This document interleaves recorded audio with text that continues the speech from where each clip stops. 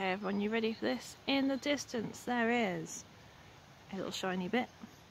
We're going to try and line it up with my binoculars, which is always horrifically difficult. I do mean horrifically difficult. Ooh. Come on. Oh, here we go. And there we have it. We have Saturn at the top, Jupiter at the bottom. A bit blurry, but you know,